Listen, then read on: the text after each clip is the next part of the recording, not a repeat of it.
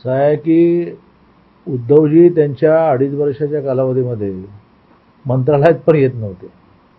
लोकांना उपलब्ध नव्हते आमदारांना उपलब्ध नव्हते. म्हणजे मला तर अडीच वर्षामध्ये ते मुख्यमंत्री म्हणून कधी त्यांची माझी भेटच झाली नाही. एकनाथजी आणि देवेंद्रजी प्रचंड फिरतायत लोकांना भेटतायत लोकांची समस्या समजून घेत आहेत आणि मंत्रालयात येऊन निर्णय करतात तुम्ही मंत्रालयात फिरकतच नव्हते. तुमच्या काळामध्ये नियमितपणे कर्ज भरणाऱ्या शेतकऱ्यांना पन्नास हजार रुपये द्यायचा निर्णय झाला. कुठे गेले ते? या सरकारला द्यावे लागले. आणि ते परवा घोषणा न राहता एका दिवशी सात लाख शेतकऱ्यांच्या अकाउंटवर गेले आधीच्या चौदा ते एकोणीसशे कर्जमाफीचा अनुभव असा की ते अकाउंटला भरले जाणं म्हणजे बँकांकडे जाणं बँकेने अकाउंट बनवणे खूप घपले व्हायचे.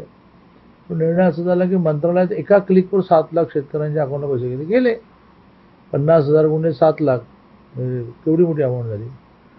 अजूनही त्यातले नियमितपणे कर्ज भरणारे जसे जसे याद्या त्या तसे जाणार आहे.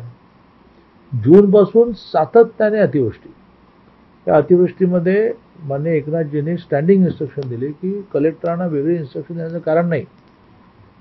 कुठलंही शेतकऱ्यांचं नुकसान झालं की लगेच पंचनामे सुरू करा. रेट जो मदतीचा असतो एन डी आर एफचा त्याच्यात डबल रेट केला. म्हणजे सहा हजार चारशे प्रति हेक्टर होतं. ते डायरेक्ट तेरा हजार आठशे केलं